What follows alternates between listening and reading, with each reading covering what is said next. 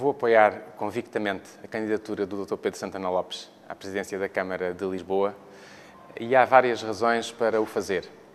Desde logo, porque eh, Lisboa é uma cidade que todos sentimos que está parada. Ora, é lamentável que a capital do país esteja neste marasmo, nesta letargia, com uma equipa que já deu provas que não consegue colocar Lisboa em movimento.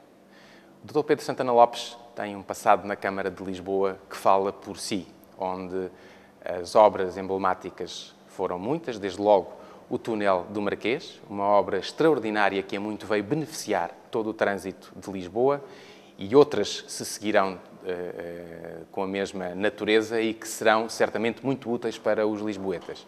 Mas podia falar da recuperação de Monsanto, podia falar do realojamento no centro de Lisboa que começou com o Dr. Pedro Santana Lopes, podia falar uh, da generalização das refeições nas escolas no primeiro ciclo, uma medida também uh, uh, fundamental que foi tomada pela primeira vez na Câmara de Lisboa, na gestão do Dr. Pedro Santana Lopes. E, finalmente, como último argumento, eu tenho que falar nas contas da Câmara. A gestão financeira de Pedro Santana Lopes em Lisboa foi uma gestão uh, saudável, sustentável e eu tenho a certeza que vai ser repetida se, como todos esperamos, o Dr. Pedro Santana Lopes for eleito novamente Presidente da Câmara de Lisboa.